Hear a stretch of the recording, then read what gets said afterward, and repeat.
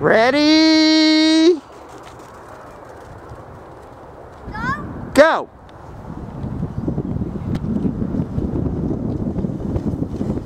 You're coming right at me. Feet down. Sorry. Dude, you almost ran me over. You weren't even trying to slow down, and you weren't even trying to steer. You're just like, I'm gonna go down this hill, and whatever happens, happens. What if you knocked me over? Stop!